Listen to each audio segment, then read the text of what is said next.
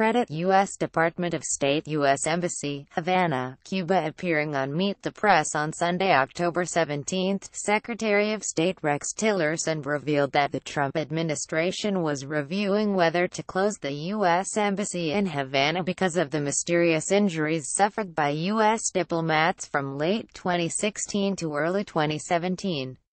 Just two days earlier, five Republican senators, Marco Rubio RFLA, among them, urged Tillerson to close the embassy and expel all Cuban diplomats from the United States in retaliation for the purported attacks. Closing the U.S. embassy makes no sense. It would punish Cuba for actions whose perpetrator remains unidentified, and it would seriously damage U.S. interests. The demands of these Republicans come as no surprise. They opposed the restoration of diplomatic relations with Cuba in the first place and are using the injuries to U.S. personnel as a handy excuse to refight a policy battle they lost not only in 2016 when President Barack Obama restored relations, but again in 2017 when President Donald Trump decided not to break them. Few people believe the Cuban government was directly responsible for whatever harmed U.S. personnel and no evidence has emerged implicating it. As a source close to the investigation told Reuters, U.S. officials here in Cuba have never suspected the Cubans as perpetrating these events. The State Department has been careful not to blame Havana, though it expelled two Cuban diplomats as punishment for Cuba's failure to protect U.S. diplomats on the island. The ongoing investigation of the incidents, which has also injured a handful of Canadian diplomats, has yet to establish who was responsible, how they did it, or why.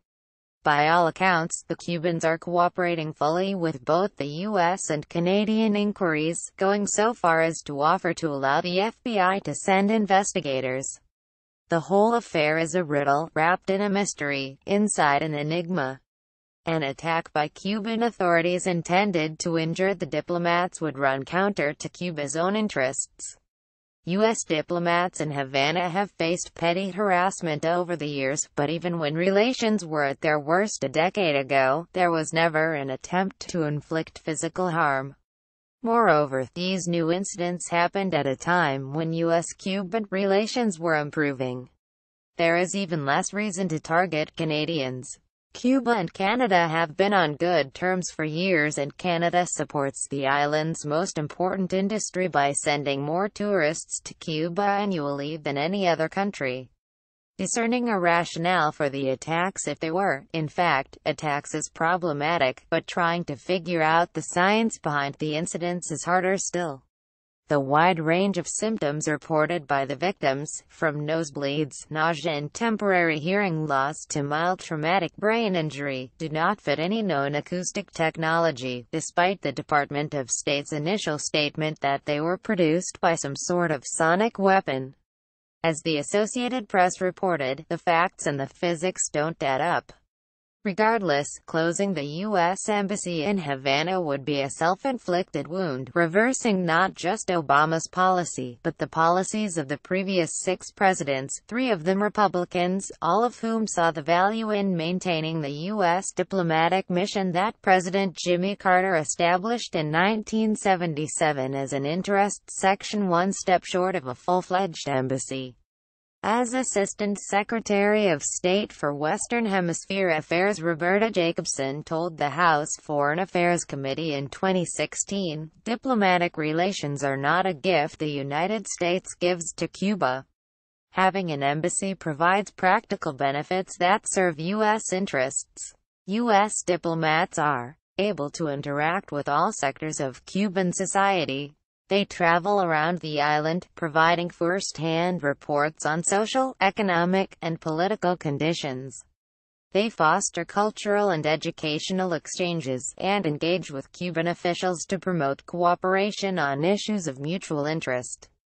In 2016, over 600,000 U.S. residents visited Cuba.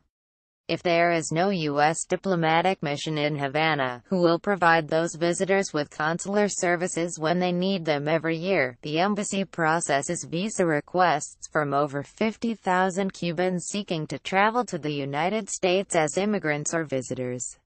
If the embassy is closed, who will process those visas? Whatever injured U.S. and Canadian diplomat seems to have stopped, so personnel serving on the island do not appear to be in imminent danger.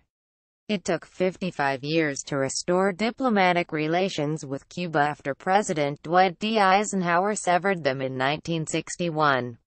It would be a serious blunder to precipitously cut them again without good cause, sacrificing the important benefits that normal relations provide.